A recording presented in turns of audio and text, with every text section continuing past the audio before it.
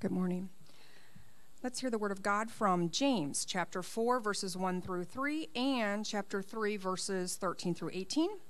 These readings are from the translation, the Common English Bible. What is the source of conflict among you? What is the source of your disputes? Do they come from your cravings that are at war in your own lives? You long for something you don't have, so you commit murder. You are jealous for something you can't get so you struggle and fight. You don't have because you don't ask. You ask and don't have because you ask with evil intentions, to waste it on your own cravings. Are any of you wise and understanding? Show that your actions are good with a humble lifestyle that comes from wisdom. However, if you have bitter jealousy and selfish ambition in your heart, then stop bragging and living in ways that deny the truth. This is not the wisdom that comes down from above. Instead, it is from the earth, natural and demonic. Wherever there is jealousy and selfish ambition, there is disorder and everything that is evil. What of the wisdom from above? First, it is pure, and then peaceful, gentle, obedient, filled with mercy and good actions fair, and genuine. Those who make peace sow the seeds of justice by their peaceful acts. The word of God for the world. Thanks be to God.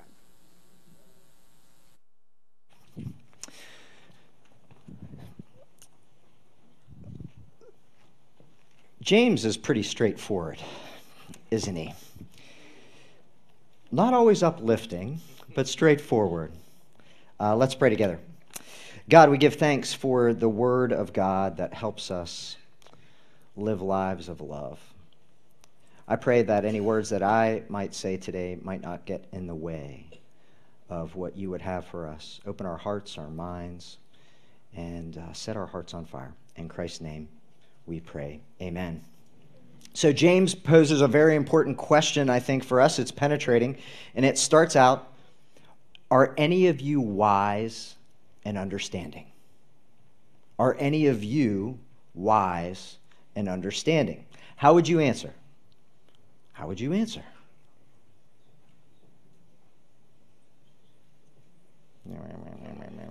We don't know the answer. We don't know the answer, right? So as I was reflecting on this this week, I thought about what do you think his tone and inflection was when he was writing this? I mean, it could have been like accusatory. Are any of you wise and understanding? Or it could have been inquisitive. Are any of you wise and understanding? I, I don't know that it matters, but I think that the question matters for us to think about and ponder and reflect deeply um, on our own answer. And so, the, our key verse this week, which will appear on the screen, says, uh, it's from James 13, uh, 3.13. It says, show that your actions are good with a humble lifestyle that comes from wisdom. In the, in the NIV, it says it a little bit differently. It says, let them show it by their good life. Let them show it by their good life. So, what does a humble lifestyle that comes from wisdom actually look like? You know, I sent out a weekly email for those uh, at the portico. I sent out a weekly email, and somebody responded uh, to it and gave her definition of a wise person. I'd like to share it with you. This is what she said. She said, Wise people accept the world the way that it is and recognize and honor the opportunity to make it better. It's a lifelong journey. Fools refuse to learn. They insist on holding on to the only ways that feel comfortable to them, and as a result, they fight with life and remain cut off from their God given potential. This route can be a lifelong journey too, but it has a less joyful tone and end. You see, James in the scripture uh, uh proclaims that there are two kinds of wisdom wisdom from above, and then wisdom from not above. And we can derive wisdom from God or the kind of wisdom that the earth peddles. We, we have our choice. And sometimes we do both. But those kinds of the earth's wisdom and God's wisdom have different starting places. They have different purposes and results. And so we're going to try to answer to the best of our ability how James might tell us to live humbly from the wisdom of above. There's a meme going around Facebook um, that says, Wise decisions come from experience, and experience comes from making bad decisions. Does it not? How many of you have made some really poor choices in your life, and then suddenly you're like, wow, wise, right? Um, what's that? Uh, that's true. That's true. Absolutely. And, and, and that actually ties in to what I was next going to say. The, Meister Eckhart, this guy, a Christian mystic, he was actually excommunicated from the church, but now he's a doctor of the church, which means his teaching is elevated to a higher level. He said this He says, Do not repent too much, for the value of sin is great. No wonder they excommunicated him. So, what, what he was saying there was like, when we mess up or when we make foolish or unwise decisions, it's from those decisions that we begin to find God and God's grace and his wisdom. So, in the Old Testament, in the uh, Psalms and Proverbs, this is what uh, they assert. They assert the fear of the Lord is the beginning of wisdom. The fear of the Lord is the beginning of wisdom. Now, fear in this uh, context doesn't just mean being scared or fearful, although I'm not saying that fear doesn't have a role in wisdom and aiding the process. When I have failed miserably in my life and when I was stuck in addiction, I can tell you fear helped me move in a different way of living. So fear isn't it's not just about fear of God, he's going to get me, sizz me, whatever. It's more than that. It's this awe. It's this reverence. It's this grace that God that God gives us because from a biblical standpoint, acquiring wisdom isn't just about knowledge and information. I know some very, very intelligent theological people that know so much, so much about God and the Bible, but their application falls short. And I know some folks who just love like Jesus loves, but don't know all the theological concepts. So I think that wisdom is found in that deep grace of Christ, that deep knowledge of God in our hearts. But there's something at the foundation of the earth's wisdom that shuts out God or perhaps veils us from God's wisdom. And from that foundation comes many challenges to living a life trying to follow in the way of Jesus. And James is going to show us. But to illustrate it more vividly, I want to use some aids here. Kids, you know what this is? Coconuts. I tried to find really big ones, but I couldn't. This is all that Publix had. So, coconuts. What the heck does coconuts have to do with anything? It's a story about a monkey. Some of you might know this story. Hunters had a lot of different. You want to hold this? Right? I'm going to throw it to you. Right? You can hold that. All right. So, monkeys, monkeys, agile, fast creatures, and hunters were trying to catch them, right? And so, they, they were having trouble until they devised this brilliant, brilliant trap. So here's what they did they took either a jar or a coconut or a heavy gourd and they cut a hole in it and they emptied it out. They emptied everything out and they put food inside of it. Okay, they put peanuts, or if it was a larger jar, uh, jar or gourd, they'd put they'd slide a banana down in it, and so the monkeys would would find this food and they'd go in and they'd put their hands in it and they'd grab it. But the problem was, here's what happened: they made the hole large enough that their hand could get in, but small enough where their fist couldn't get out. So the monkeys would grab that food, they'd have their food in that, in that coconut or that gourd, and they'd try to pull out, and they couldn't get their arm out. They were stuck. But here's the weird part about it all they needed for freedom was to let go, but they wouldn't. even with hunters coming, approaching, they wouldn't let go. They wanted that food. And that, that desire got them captured. So you might say, you might say, here's a, show that picture, there it is. You might say that the monkeys were captured by their craving. They had the ability to let it go, but they wouldn't. They were captured by their craving. And you know, food isn't, wasn't what captured them, it was the desire underneath of it.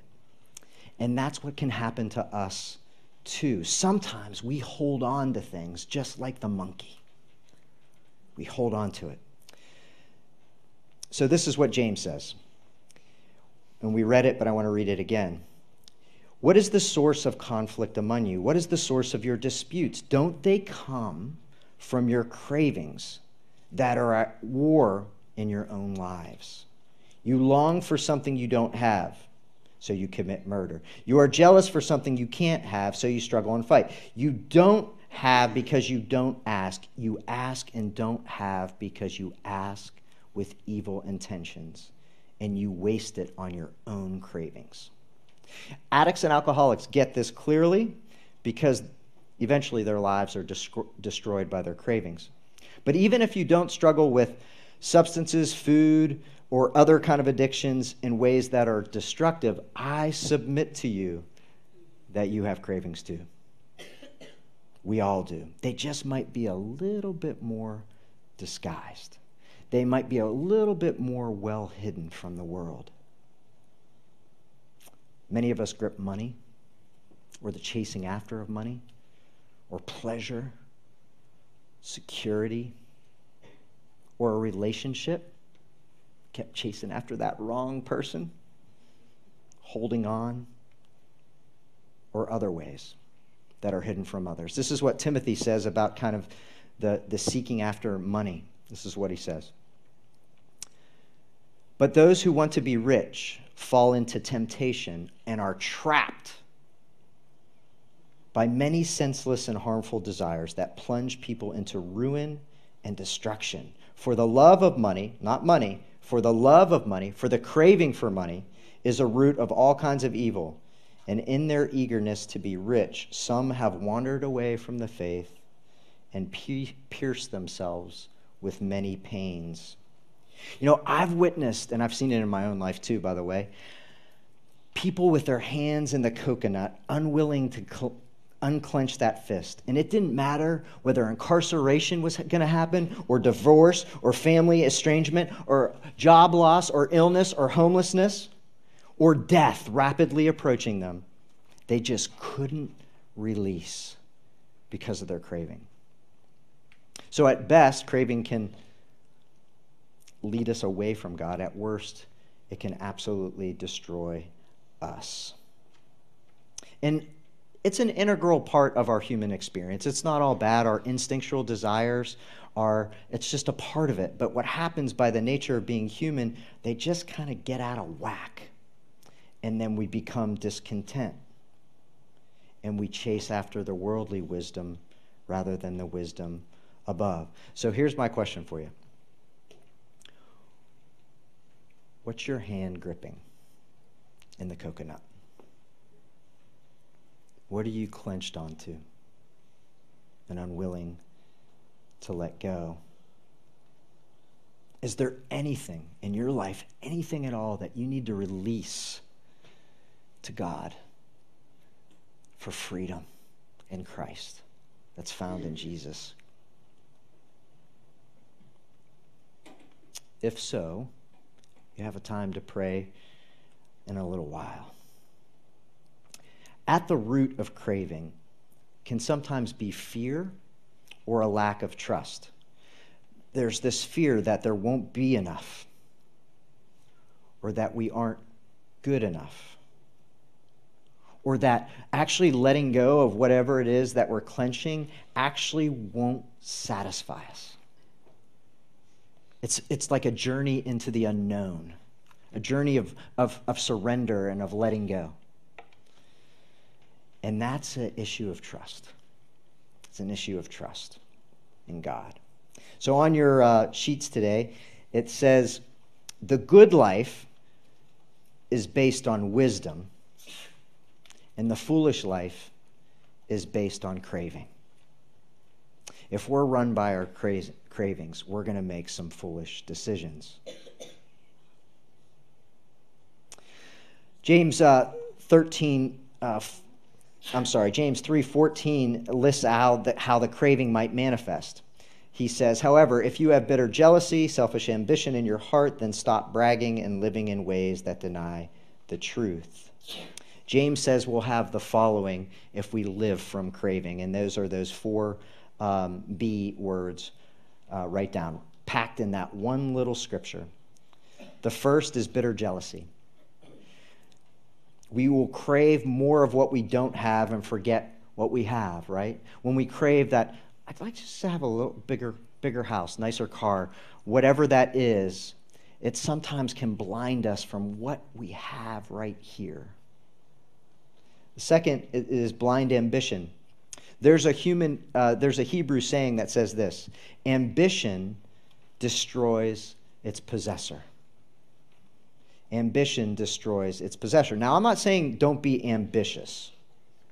I'm not saying that. What I'm saying is that ambition can lead us to just focus on the accomplishments that we haven't had or haven't done, which makes us fail to realize what God has done in and through us as a result. The third is boasting. In boasting, we crave lifting ourselves up, making our egos feel lifted up, which ultimately makes us not focus on those that we can lift up. But boasting is our culture, isn't it?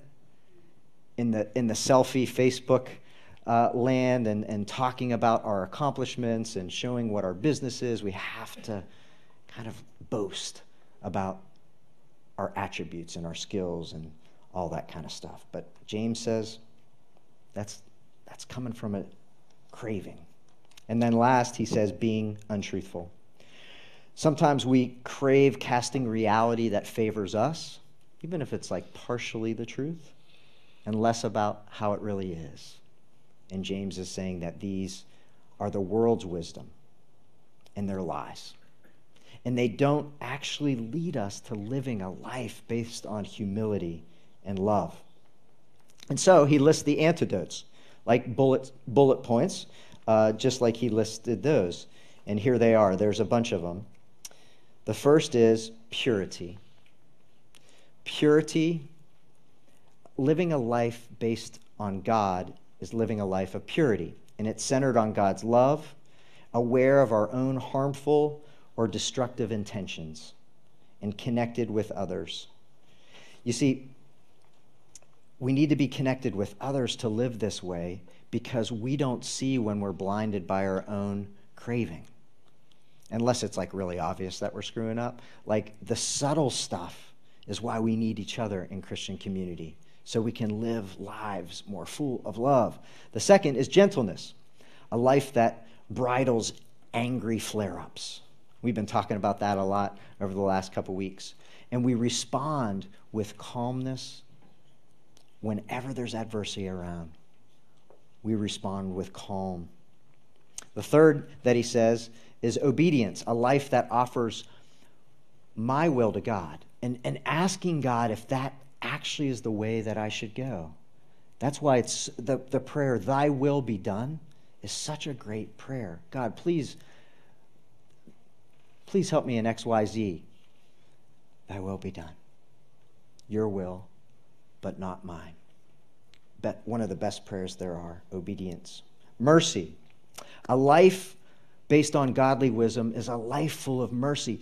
Who, brothers and sisters, who in your life, who in your life do you need to be merciful to? Maybe it's you. Maybe you need to show yourself mercy, but maybe you need to show others. Who can you forgive? Who can you be tolerant towards? Two more. Fairness. A life that doesn't play fairness, that does not play favorites, that tempers prejudice and treats everyone with the divine mark that they shine with. Every single person bears the divine mark of God and therefore has dignity. And we can treat them as such. And last but not least, and this might be the hardest one, especially in our time with divided places of divided beliefs, divided politics, a divided world, peace with justice. A life that enters into conflict rather than avoids it and works to bring resolution and restoration in people and places that are in war with one another. Now, you might be thinking, James, great, you vomit that out in one verse. How do we actually live it? How do we actually live purity, gentleness, obedience, mercy, fairness, and peace with justice? And I just want to give you three simplistic but not easy ways that you can apply it this week. They're not on your sheet, but I think they, they've helped me and I think they come from the text. The first is starve. Sometimes we have to starve the craving. We have to figure out a way to starve what we've been going after and grabbing. I don't know what that looks like for you in your life, but if there's something that you have a hold on that you're unwilling to let go of, you have to find a way to starve the craving. And I imagine that you can't do that on your own. So you might need some Christians, brothers and sisters, to do it. If you're struggling with something and you want to pray during communion, please come up. But that's about, you know, as Christians, as people falling in the way of Jesus, here's something that's beautiful. Here's something that's hopeful. Here's something that we can rely on. We have the Holy Spirit. And the Holy Spirit that's given to us in baptism says, that we can resist evil. We can resist it. Sometimes that comes in the form of supporting, uh, being supported by others. So the first one is starve your craving. The second one uh, and the third one come from just a few verses after of what we read um, today, and I just want to read it to you. It's from uh, verses 7 and 8, chapter 4. It says this. Submit yourself then to God. Resist the devil, and he will flee from you. Come near to God, and he will come near to you. Wash your hands, purify your hearts, you double minded. Humble yourselves before the Lord, and he will lift you up. So the last two are first, spend time with God. Spend time with God.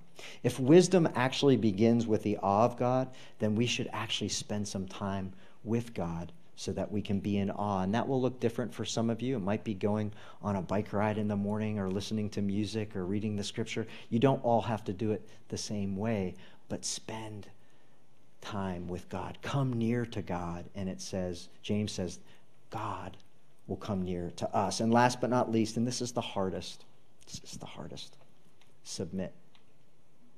Submit. Submit to God. Resist the devil, and he will run away from you. You see, some people get nervous by that devil name. Is there a devil? Does he actually have horns? Uh, when you hear the word demon or devil, the primary, uh, I would say the doctrine of original sin is the most provable doctrine uh, that there is. We just have to look around at the evil around us. But the demons is about division. It's about dividing us from goodness. It's about dividing us from love. So whether or not you believe in a little horned uh, devil or not, what you can know is that there are forces conspiring to divide and, better news, there are forces desiring and conspiring to unite in love. And we can align ourselves around those that spirit. So as you starve, as you spend time, and as you submit, you will live wisdom. You will live a good life day by day, moment by moment, week by week, Sunday by Sunday. And you'll find the ability, like the monkey, or unlike the monkey, to let go. I don't know what you're holding on to, but God is with you. And the invitation is to live a life based upon love. May we do it together this week and share it with others. In the name of the Father, and of the Son, and the Holy Spirit. Amen.